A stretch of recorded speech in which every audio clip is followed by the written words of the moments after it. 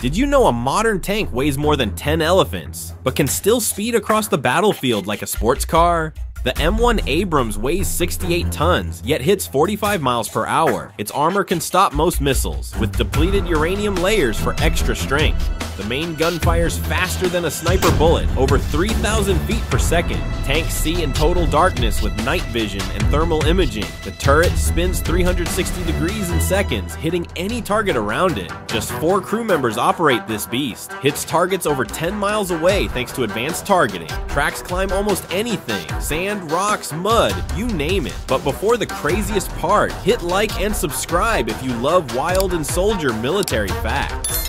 And here's the craziest part. Even with all that weight, armor, firepower, and tech, the M1 Abrams can go from zero to full speed in just a few seconds. Its turbine engine produces over 1,500 horsepower, the same force used in jet aircraft. It's not just a tank, it's a 70-ton battlefield rocket disguised as a monster of steel.